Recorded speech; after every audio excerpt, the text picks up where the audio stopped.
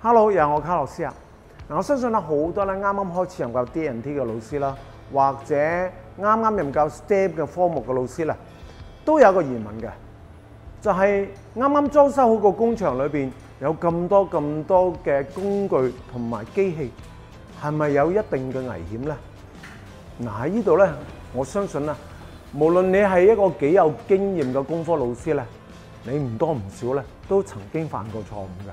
所以身上咧一定有啲傷痕嘅，咁於是乎咧機器同埋工具咧就成為我哋又愛又恨嘅嘢啦。嗱，正常嚟講咧，一間設備齊全嘅設計科技室咧，喺我哋嘅儲物室裏邊咧，係乜嘢類型嘅工具都有㗎，包括金工嘅工具啦、木工嘅工具啦、電工嘅工具等等。嗱，講到工具咧，就無論用到電嘅電動工具啦。或者一般用手操作嘅手工具咧，其實都有一定嘅危險性嘅。但如果講到危險性啊，居家又何嘗冇危險性咧？好似你喺屋企都有好多有危險性嘅物品㗎，例如電飯煲都會淥親㗎嘛。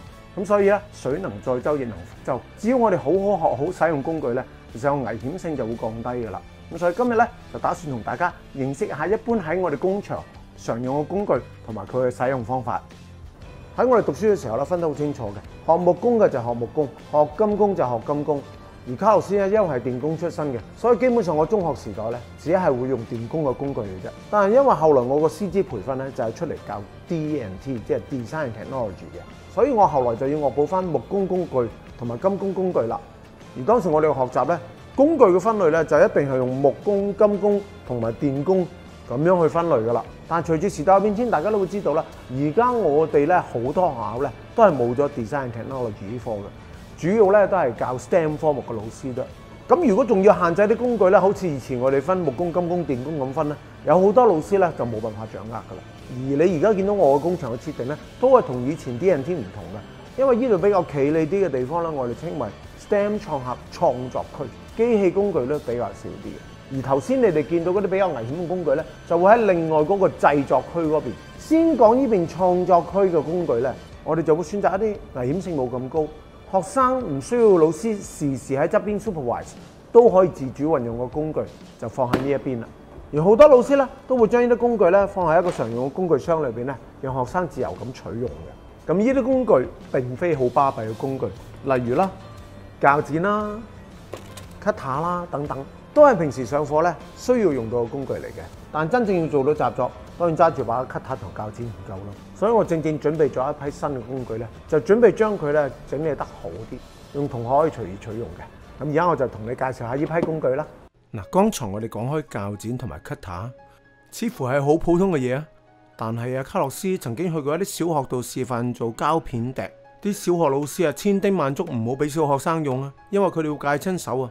當然啦，要唔解親手，梗係要準備好呢個安全尺啦。咁自然用 cutter 咧，都變成非常之安全噶啦。好啦，跟住就係兩把鉗啦，一把尖嘴鉗，一把大嘴鉗。當你手上咧有啲好細粒嘅螺絲帽啦，你就自然要咁樣夾住佢先至扭到噶啦。至於最基本嘅驅動工具 driving tools，即係螺絲批啦。無論係十字或者一字批，都係非常之有用噶。无疑啊，大部分嘅螺絲啦，無論喺樂器上面或者模型上面嘅螺絲啦，都係十字頭嘅。但係喺接線嘅時候，有一啲咧都會係一字頭噶。大家不妨留意下，有得有嘅螺絲批，粗嘅自然都唔少得啦。無論維修樂器啦、電腦啦，我哋都好需要用到呢啲螺絲批噶。之後咧，我就會諗到關於電子嘅工具啦。就包括剪钳同埋開線鉗。一般嚟講咧，剪钳可以剪斷電線，亦都可以開線嘅。但係為新手嚟講咧，用開線鉗咧，開線咧就比較方便啦。而跟住咧，我會覺得有埋一把勾刀就更加好啦。因為如果要喺亞加力膠片上面切割直線嘅時候，我哋未必一定用激光切割機噶。有一把勾刀配合安全尺咧，切割直線咧就非常之方便嘅。而最後咧，我都想加上兩樣工具，一個就係打窿機，就係專門為嚟做呢個膠片笛去打窿用嘅。而另外一個切管器咧，我都會用嚟教學生咧點樣去切開一條 PVC 管嘅。啊，最後唔少得嘅就係量度工具啦。嗱，用公尺嚟量度啦，自然好用啦。但係頭先都講過啦，如果有安全尺咧，盡量使用安全尺啦。哇，講到量度，我真係唔想漏咗一把卡尺喎。而且呢啲咁嘅電子卡尺又平又好用，量度都又準。畫電腦輔助繪圖嘅時候，真係可以幫到唔少噶。哎呀，唔好漏咗，真係最後一樣啦。英文咧就叫做 tweezers，中文叫做鑷子，我哋夾起啲好細嘅零件，無論砌模型或者工藝上都用得着嘅。嗱，擺到成台工具咧，我就希望將佢分類下，一啲常用啲嘅，同埋一啲冇咁常用嘅。最後經過整理之後咧，我發覺台面而家呢一扎咧喺 STEM 課堂上面咧就較為常用嘅。但係至於我要點樣將呢隻工具擺放好佢，讓學生更加容易運用到呢，我就要同啲學生商量下先啦。相信經過今日簡略嘅講解咧，大家都會知道喺而家現行嘅 STEM 教育裏邊，我哋會容許學生常用到邊啲嘅工具，都係嗰句啦，水能載舟，亦能覆舟。就算係呢啲台面上工具，佢都有一定嘅危險，所以老師一定要好認真咁教導學生咧喺上課時，使用工具安全守則。至於卡老師會點樣再整理好呢啲工具，讓到學生更加方便同埋安全咁採用佢哋呢？咁就要繼續留意我之後嘅影片啦。好啦，今日我分享到呢度啦。我係卡老師，喜歡我影片嘅請你訂閱、加讚同埋分享出去啊！拜拜。